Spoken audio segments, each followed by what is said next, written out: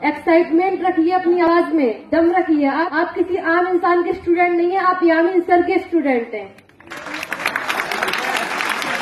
हाँ या ना में जवाब दीजिए। यहाँ से जाने के बाद यहाँ से जाने के बाद कमिटमेंट लेकर जाइए। दुनिया आपसे पूछेगी कि आपके उस्ताद कौन है तो आप गर्व से बोलेंगे हमारे उस्ताद कौन है? यामीन सर है जिन्होंने हमारे एक ऐसी स्किल डेवलप की है जिससे आज हम एक बेहतरीन इंसान बन पाए हैं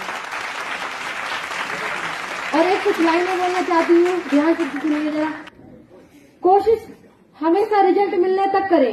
कोशिश हमेशा रिज़ल्ट मिलने तक करें क्योंकि ये दुनिया सिर्फ़ रिज़ल्ट देखती है ना कि कोशिश। बेशक बेशक